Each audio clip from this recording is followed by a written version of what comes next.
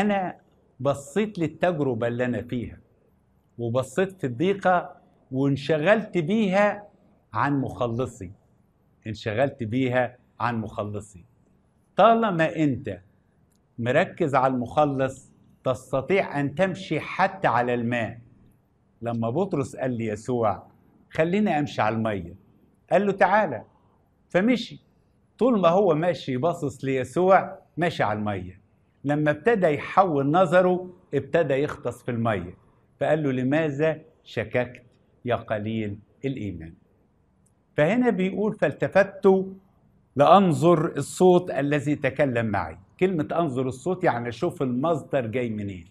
وتعالوا نشوف مصدر صوت يسوع. يسوع صوته بيقول لنا أنا معكم كل الأيام إلى انقضاء الدهر. وده اللي بيطمنا. وبنقول باستمرار إن كان الله معنا فمن علينا.